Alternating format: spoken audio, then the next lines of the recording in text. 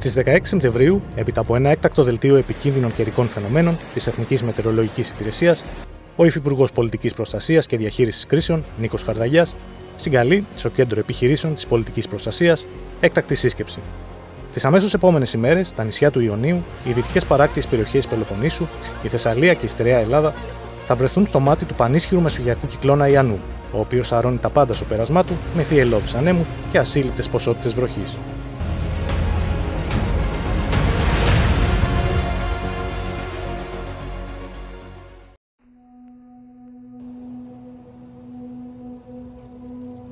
Αν και σημειώθηκαν μεγάλες καταστροφές σε αρκετές περιοχές της Ελλάδας, ένας νομός φαίνεται πως πλήρωσε το πιο βαρύ τίμημα.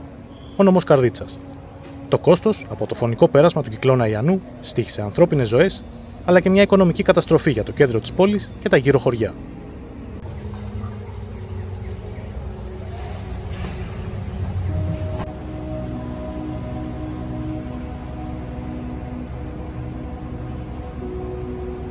Ο Γιάννης Κορομπίλης είναι έμπορος διατηρεί ένα μαγαζί με εποχιακά είδη και χαρτικά στο κέντρο της Καρδίτσα. Έχεις ξαναδεί αυτό το πράγμα; Ούτε. Αν είναι λεφτά μας, αδερφέ. Αυτά κάναμε αγώνα για να τα αποκτήσουμε.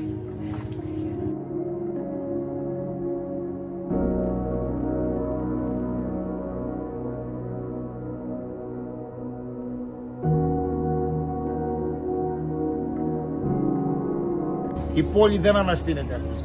Πέθανε. Πέθανε η πόλη.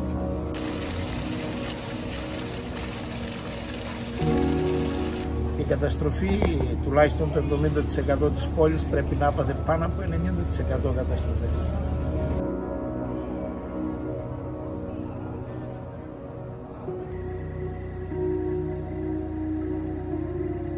Το κοριτσάκι μου έχει φαρμακείο και αυτό έπαθε ζημιά 70.000 ευρώ στο φαρμακείο, σώσαν κάποια πράγματα. Είναι 10 άτομα εκεί και καθαρίζουν για αυτό. Πάση περιπτώσει, το θέμα είναι ότι έφυγε νερό από τα ποτάμια και κάποιοι έχουν ευθύνη και το νερό ήρθε μέσα στην πόλη. Και δεν ήρθε νερό, ήρθε λάσπη. 20 εκατοστά λάσπη έχω μέσα στα μαγαζιά στις αποθήκες και μισό μέτρο νερό.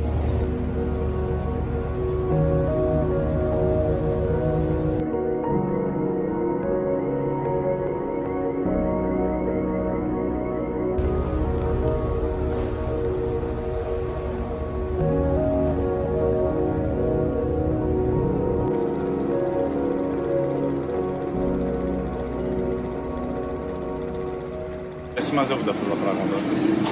Ε, είναι καταστροφές μεγάλες.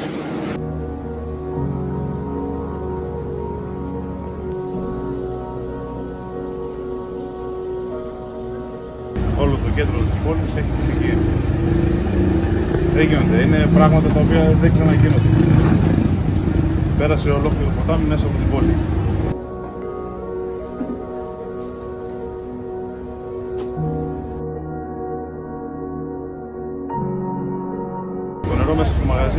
80 εκατοστά. Ό,τι υπήρχε μέσα και δεν υπήρχε έχει καταστραφεί. Ακόμα και στις αποθήκες μας.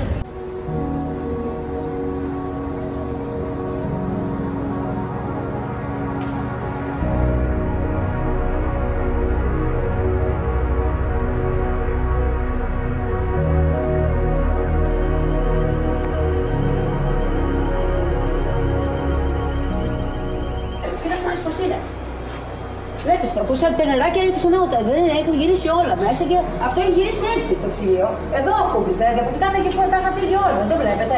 Έχουν ναι. τελειώσει όλα. Δεν υπάρχει τίποτα. Στην Ελλάδα έχουν καταγραφεί έξι μεσογειακοί κυκλώνες από το 1982. Δεν πρόκειται συνεπώς για κάποιο άγνωστο καιρικό φαινόμενο στην περιοχή μας. Αυτό που προκαλεί ανησυχία είναι πως τα τελευταία χρόνια παρατηρείται μια αυξητική τάση. Από τους 6 καταγεγραμμένους κυκλώνες, οι 4 έκαναν την εμφάνισή τους στο διάστημα μεταξύ 2016 και 2020. Καταλληλότερος όμως να μιλήσει για το φαινόμενο είναι ο διευθυντής του Εθνικού Μετεωρολογικού Κέντρου, Θοδωρής Κολυδάς. Ναι, ο αριθμός των ε, πλημμυρικών φαινομένων είναι αυξητικός, όμως σε πολύ μεγάλο βαθμό ε, κατά την άποψή μου οφείλεται κυρίως στην ανθρώπινη παρέμβαση και κατά δεύτερο λόγο στην κλιματική αλλαγή. Δεν είναι όλα, όταν λέμε κλιματική αλλαγή, εννοούμε ίσως αν βάλουμε μέσα σε αυτόν τον όρο και την ανθρώπινη συμπεριφορά, ναι, έχουμε θερμότερα νερά, ειδικά στην Ανατολική Μεσόγειο τα τελευταία 50 χρόνια. Το θερμό νερό μαζεύει περισσότερο υγρασία, δίνει περισσότερη δύναμη στα χαμηλά, στους κυκλώνες που πάνε να σχηματιστούν, με αποτέλεσμα να προσβάλλουν τις περιοχές της Ανατολικής Μεσογείου.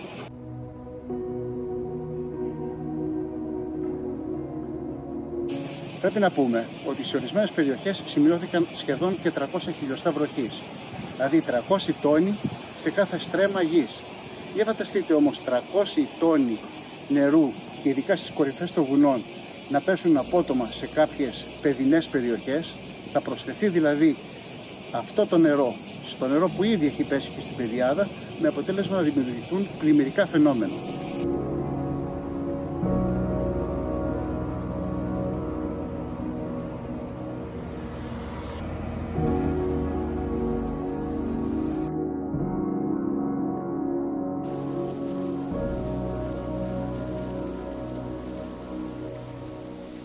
Αν υπάρχει μια περιοχή στην Ελλάδα που έχει βιώσει τις καταστρεπτικές συνέπειες ενός ακραίου καιρικού φαινομένου, αυτή δεν είναι άλλη από τη Μάνδρα Αττικής. Εκεί, όπου μια πρωτόγνωρη βροχόπτωση σε όρος Πατέρα το Νοέμβριο του 2017, σε συνδυασμό με την ανθρώπινη παρέμβαση στα ρέματα αλλά και την αμέλεια του καθαρισμού τους, οδήγησαν σε μια τραγωδία με 24 νεκρούς και πλήθος καταστροφών στην πόλη.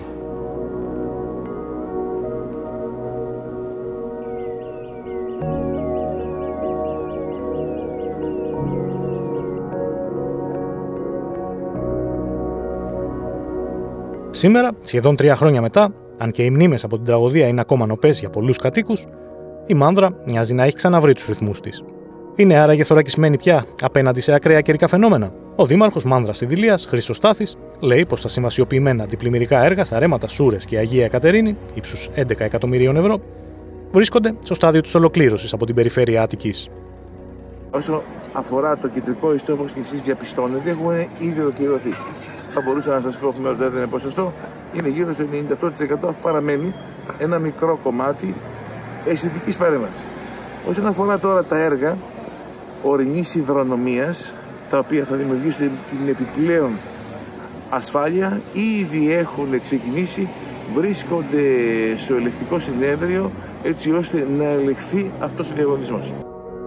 Την ημέρα που επισκεφθήκαμε τη Μάνδρα, ένα κλιμάκιο του Εθνικού Αστεροσκοπείου Αθηνών και της Πολιτικής Προστασίας βρισκόταν στην περιοχή για μια ενημέρωση των φορέων της τοπικής αυτοδιοίκησης Μάνδρας και Ελευσίνας αναφορικά με τους τρεις σύγχρονους σταθμούς που τοποθετήθηκαν σε στρατηγικά σημεία των ρεμάτων για να προσφέρουν μια σειρά μετεωρολογικών μετρήσεων σε πραγματικό χρόνο. Ο Χάρης Κοντοές είναι ο επικεφαλής του Κέντρου Διαχείρισης Φυσικών Καταστροφών Beyond του Αστεροσκοπείου Αθηνών. Όπως επισημαίνει, οι τρεις σταθμοί που έχουν εγκατασταθεί στην περιοχή θα είναι ένα χρήσιμο εργαλείο για να προβληθούν στο μέλλον πιθανές καταστροφές.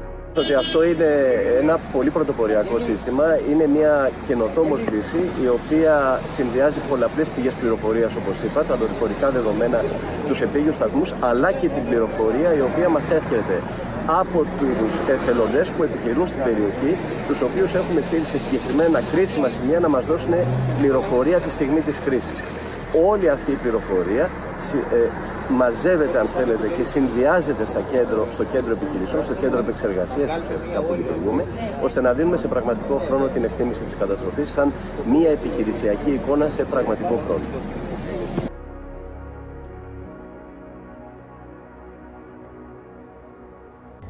Ο Θοδωρής Καραντινός είναι κάτοικος Μάδρας και μέλος του Συλλόγου Πλημμυροπαθών. Ο ίδιος πιστεύει πως τα έργα που έχουν πραγματοποιηθεί τα τελευταία χρόνια, έστω και με καθυστερήσεις, έχουν ενισχύσει τη θωράκιση της πόλης απέναντι σε ακραία καιρικά φαινόμενα. Η προσωπική μου εκτίμηση είναι πρώτα απ' όλα ότι αυτό που έγινε το 2017 δεν είναι κάτι που γίνεται ε, συχνά. Ε, η περιοδικότητα είναι αρκετά μεγάλη. Απ' την άλλη πλευρά πιστεύω ότι αυτή τη στιγμή τουλάχιστον και όσα έχει το δίκτυο θα μπορούσε να αντέξει και να απορροφήσει. Προσωπική εκτίμηση.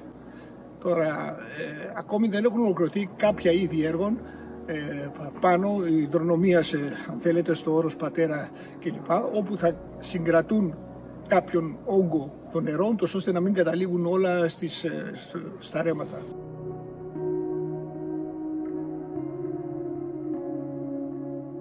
Ο Δημήτρης Θεοδοσόπουλος είναι τοπογράφος μηχανικός και μέλος του Διοικητικού Συμβολίου του Πανελληνίου Συλλόγου ΡΟΗ, πολίτες υπέρ των ρεμάτων.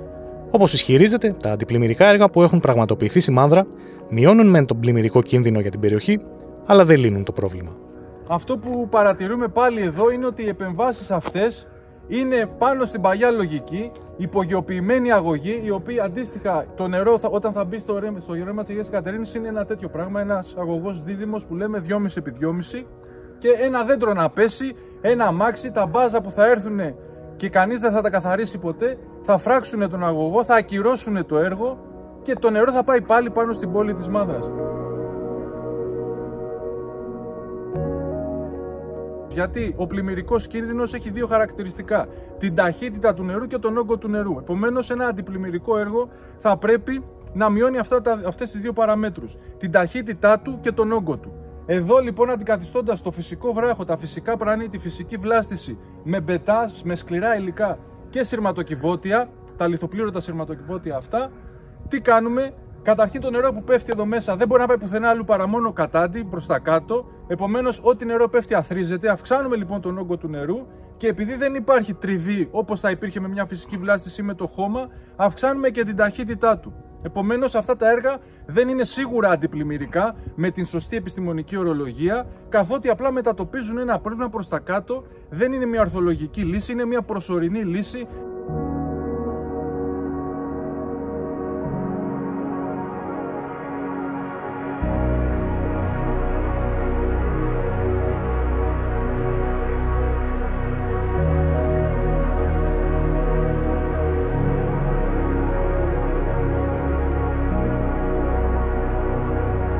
Για να λυθεί πραγματικά το μεγάλο ζήτημα αυτό ή για να πέσει ακόμα περισσότερο ο πλημμυρικός κίνδυνος χρειάζεται να γίνουν και άλλα έργα, κυρίως στα ορεινά, όπως λέμε, με έργα ορεινής υδρονομίας, δεξαμενές υδατοσυγκράτησης πάνω, πλημμυρικές ζώνες, δημιουργία πλημμυρικών ζωνών που είναι πολύ σημαντικό αυτό για μια πλημμύρα, ούτως ώστε να καθυστερεί το νερό, όσο νερό και να πέφτει, να καθυστερεί να φτάσει στην πόλη της Μάνδρα ή να έρχεται με έναν ελεγχόμενο τρόπο.